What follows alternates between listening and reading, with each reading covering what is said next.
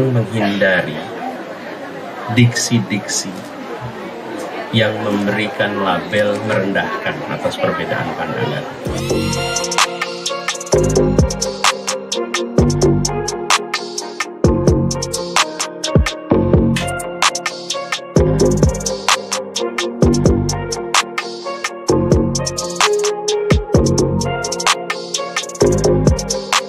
Pikiran boleh berbeda, gagasan boleh berbeda, tapi satu hal, hormati perbedaan itu.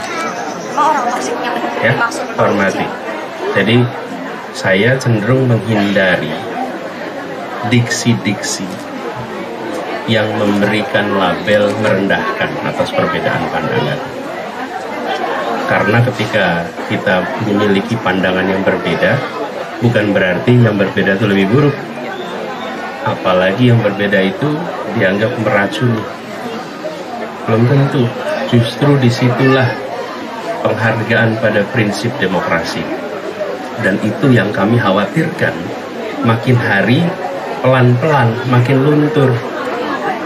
Bila Anda sepaham dengan saya, maka Anda benar dan Anda sehat. Tapi bila Anda tidak sepaham dengan saya, maka Anda adalah tidak benar, Anda tidak sehat. Ini cara pandang yang bisa mengganggu demokrasi. Jadi saya cenderung untuk jangan menggunakan istilah-istilah yang bisa merusak perbedaan. Ini sehat loh.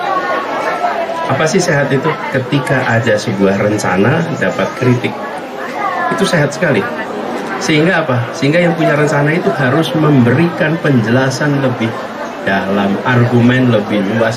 Itu baik untuk seluruh masyarakat, termasuk bagi yang merencanakan kebijakan. Cuman kadang-kadang yang berada di dalam pengambilan kebijakan itu belum tentu punya kesabaran untuk mau menjelaskan dengan lengkap. Ya.